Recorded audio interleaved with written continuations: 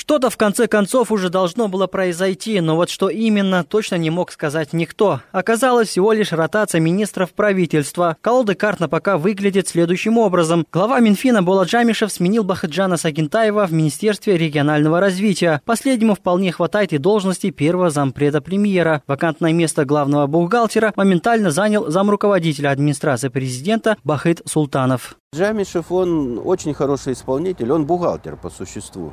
И когда все было хорошо, он был на своем месте. А теперь, когда надо, что называется, шустрить, это надо искать и дополнительные источники дохода, это надо искать, где чего отрезать, не трогая там такое святое, как силовики. В общем, там просто так сидеть нельзя уже теперь на бюджетных делах.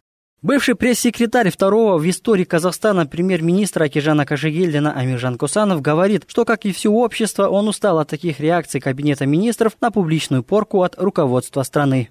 Такого рода спектакли у нас периодически ставятся, и народ к этому привык, и нет новизны, нет новаций.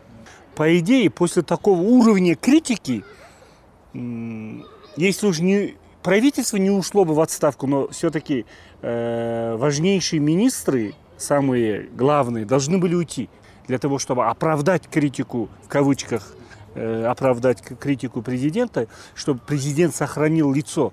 Впрочем, при общем кадровом и профессиональном голоде ждать решительных изменений в верхах и не стоило, считают другие эксперты. Любой ремонт системы сегодня заранее обречен на развал. Президент прекрасно понимает, что правительство формирует он сам, а не премьер-министр. В итоге правительство работает не как команда,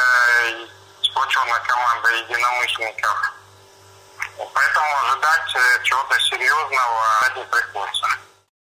Получается, что это вроде бы единственные серьезные реформы внутри самих себя, на которые решились члены правительства. Правительство, которое горячие депутатские головы не без чьей-то подсказки сегодня безбоязненно нарекли самым инертным в истории Казахстана.